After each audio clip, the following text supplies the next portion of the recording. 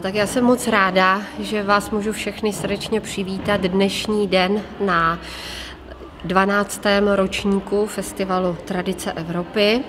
Je to festival, který putuje po východočeských městech od Pardubic přes Chrudim, Slatiňany, Přelouč, Dolní Čermnou až do Svitav.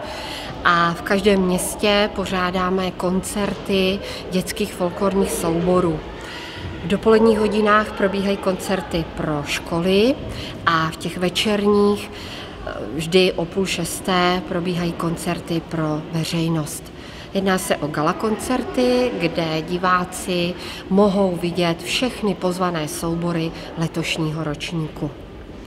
V letošním roce na Festival Tradice přijali pozvání děti ze Srbska, ze Slovenska, přijeli také děti z Polska a rovněž kamarádi z Bulharska.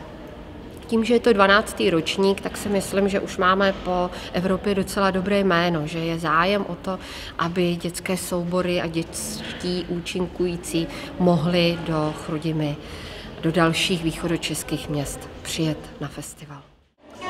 subscribe cho kênh Ghiền Mì Gõ Để không bỏ lỡ những video hấp dẫn